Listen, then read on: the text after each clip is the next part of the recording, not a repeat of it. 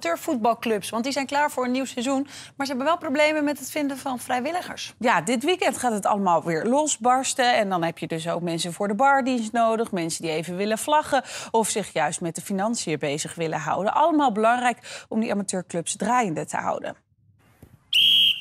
Maar willen we zorgen dat jong en oud lekker kunnen blijven sporten... ja, dan heb je toch ook wel vrijwilligers nodig. En als zelfs bij betaalde banen personeelstekorten dreigen... ja, vind dan maar eens genoeg vrijwilligers voor een gratis dienst. Het wordt bij de clubs eh, steeds schrijnender... en dus moeten ze ook dit seizoen alles op alles zetten om niet om te vallen.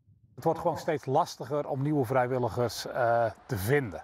En dan met name op, uh, op, op, bepaalde vlakken. Uh, ik noem er eentje scheidsrechters. Ik ben al uh, nou, zeker 25 jaar vrijwilliger. Overspelen!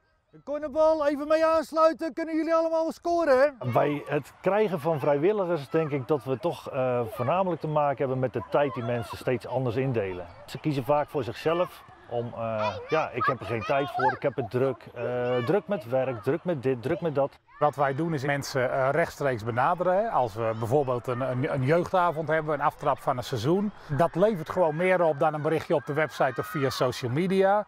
Wat we met de schoonmaak van onze gebouwen, met name de kleedkamers, hebben gedaan. Daar werken we sinds dit seizoen samen met mensen tot een afstand uh, tot de arbeidsmarkt. Ja, en die vinden dat gewoon hartstikke leuk om te doen. En voor ons als club is dat een stukje maatschappelijk verantwoord uh, bezig zijn. Dus mooie oplossing wat ons betreft. U heeft de zoon van 19 die voetbalt, ja. altijd vrijwilliger geweest. Ja. Hoe was het daar? Krijgen zij de planning rond?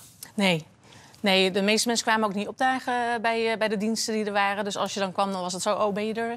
En uh, op een gegeven moment hebben we gekozen om het af te kopen per seizoensdeel, zeg maar.